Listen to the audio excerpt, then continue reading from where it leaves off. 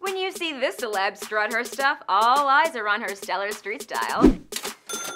Blake Lively lived up to her fashionista reputation in a look worth more than $20,000 at the NYC premiere of Final Portrait. The actress wowed the crowd in a $2,000 Monse Gingham dress, worn with a $7,300 coat from Oscar de la Renta's fall collection. She added $1,100 Christian Louboutin heels and carried a Chanel bag that's no longer available, but similar styles once retailed for around $10,000. Blake attended the event, held at New York's Guggenheim Museum, with hubby Ryan Reynolds in tow.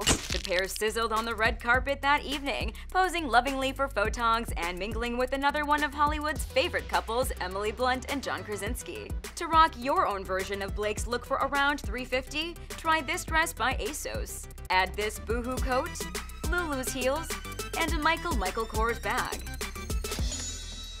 A week earlier, the Gossip Girl star hit Hollywood hotspot Delilah in a $255,000 look to celebrate celeb fave jeweler Lorraine Schwartz. Blake rocked a $2,200 Brandon Maxwell dress with $850 Christian Louboutin Galleria sandals. The mother of two, who's known for being her own wardrobe stylist, upped the shine factor with $15,000 diamond hoops by Ophira and $237,000 worth of diamond Lorraine Schwartz Against Evil Eye bracelets. When it comes to rocking a little black dress, Blake proved she knows how to take it way beyond basic. Want to score her LBD look for under $400? Snag this dress by One State, Steve Madden heels, and hoop earrings by BB.